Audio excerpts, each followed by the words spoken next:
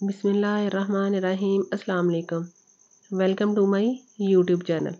तो आज मैं आप लोगों से कद्दू के रायते की रेसिपी शेयर करूँगी, जो कि बहुत ही मज़े का बनता है। तो यहाँ पर मैंने दो अदद कद्दू लिए हैं, जिनको मैंने छील के अच्छे से धो लिया था। तो अब हम इनकी कटिंग कर लेते हैं तो इनको हम चार हिस्सों में डिवाइड करेंगे और इसके बाद हम इसको कद्दूकश कर लेंगे।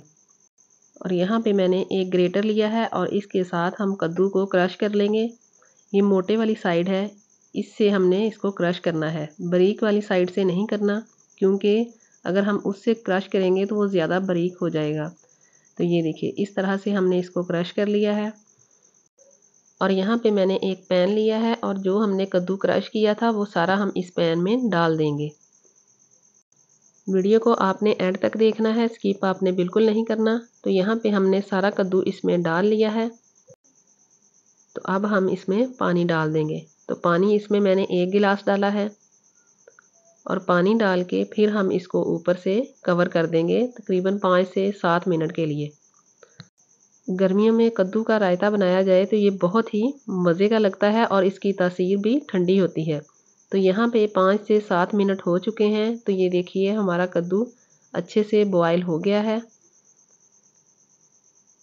तो अब हम इसको छान लेंगे। तो ये देखिए, कद्दू का पानी हमने निकाल दिया है। अब हम इसको साइड पे रखते हैं। तो यहाँ पे मैंने एक अदद बाउल लिया है और इसमें मैं दही डालूँगी। तो ये बड़े चार चम्मच मैंने दही के लिए हैं। तो ये दही माशाल्लाह देखिए कितने मज़े का बना है। तो इन मैं आप लोगों से इसकी भी रेसिपी बहुत जल्दी शेयर करूँगी। तो अब हम इस दही को अच्छे से फेंट लेंगे।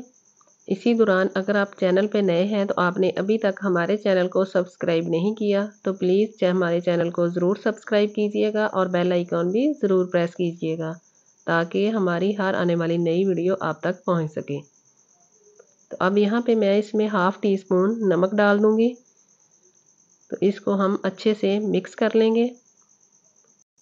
तो नमक हमने अच्छे से मिक्स कर लिया है। तो अब मैं इसमें एक बड़े साइज़ का कटा हुआ टमाटर डाल दूँगी।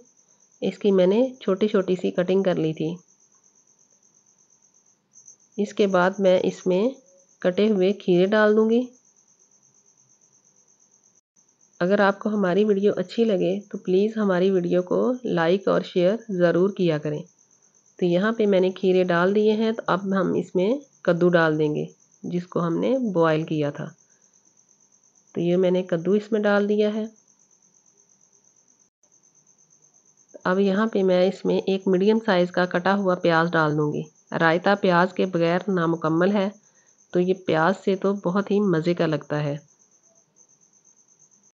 अब यहाँ पे मैं इसमें कूटी हुई सब्ज़ मिर्च डाल दूँगी। तो ये मैंने थोड़ी सी इसमें कूटी हुई सब्ज़ मिर्च डाली है तो आप अपने टेस्ट के अकॉर्डिंग डाल सकते हैं। वन फोर्थ टी स्पून मैंने इसमें पीसी हुई काली मिर्च डाली है।